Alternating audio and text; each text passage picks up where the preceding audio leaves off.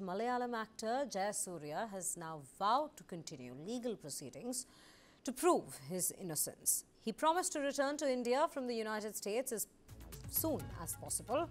Let's take a look at what's been said by him. In a statement, Jayasurya wrote, Due to personal commitments, my family and I have been in America for the past month.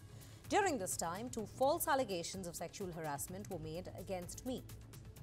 Now, this comes amid a time when there has already been a lot of chaos with regards to sexual assault complaints against big, stalwart personalities in the Malayalam movie industry. The Kerala police have registered a sexual second sexual assault case against Jayasurya after a woman actor accused him of molestation on a movie set near Thodupuzha during 2012 to 2013.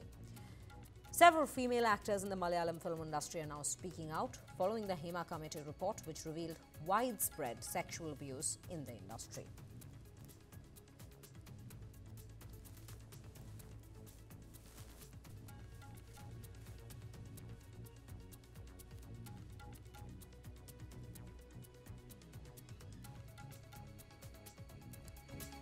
Well, so this is the particular story that we are bringing to you now.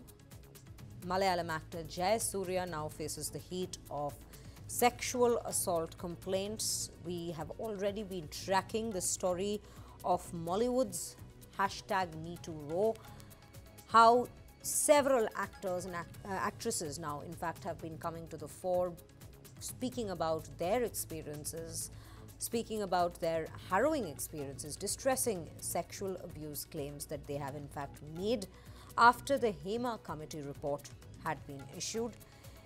Jayasurya, the complaint against Jayasurya, in fact, is the latest that takes place in the Mollywood industry with regards to this entire matter.